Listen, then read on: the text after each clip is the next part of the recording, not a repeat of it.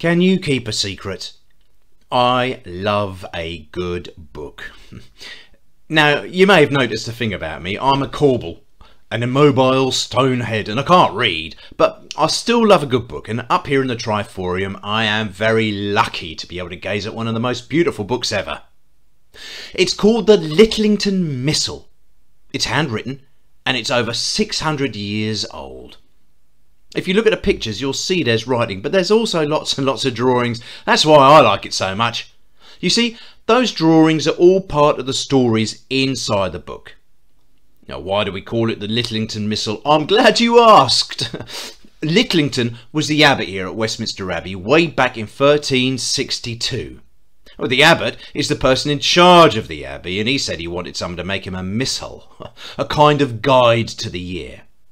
It tells you what is happening and when. Not sure what day the feast of St. Edward falls on, or what order the coronation ceremony should take, or how about what prayers to say at the celebration of Mass. It's all in there, so you never have to say the wrong thing or miss something important. But who made such a beautiful book? Well, we happen to know his name was Thomas Preston, and it took Thomas about a year to do the writing. Helping him put the book together were three artists who did all the fancy lettering and the pictures. Uh, during that year, Thomas would have spent much of his time working alongside the artists. Uh, most likely, they would have been out in the cloisters, a part of the abbey that's a little like a big courtyard with a covered corridor going round it. This was a part of the abbey where the Benedictine monks who lived and worked here spent much of their time. Well, they'd be praying, meditating, chatting, or gossiping. We can even see where they played their games of marbles as they carved game boards into the stone benches where they sat. Well, those monks would have got used to seeing Thomas at his writing desk every day, focusing as best he could on his great task to complete his book. And Thomas would have spent time with those monks as well, getting to know them and what life was like for them. In fact, we know Thomas must have been very interested in how the monks at the abbey lived their lives, as once he'd finished making a missal, he became one.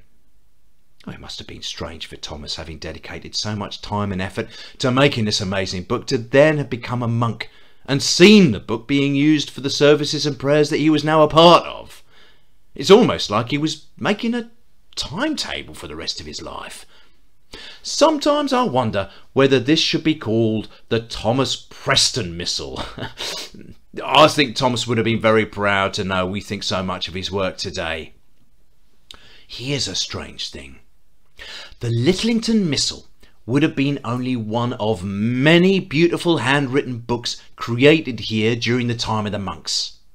It's one of the things they did with their long hours, writing and reading, drawing and painting. And all those books would have been kept safe and secure in the Abbey Library. But then came Henry VIII and I'm sad to say many of those books were lost or destroyed when the king closed down all the abbeys and monasteries. Heartbreaking stuff. But we're very lucky as the Thomas Preston, I mean, the Litlyngton Missal, was one of the few books to survive what became known as the dissolution of the monasteries in the year 1540.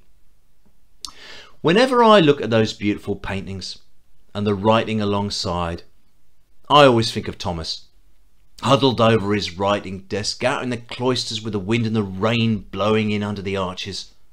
I think about how during his time at the Abbey he actually became a part of the life here when he decided to dedicate himself to the service of God. Do you know, I think Thomas would have made a very good Corbel.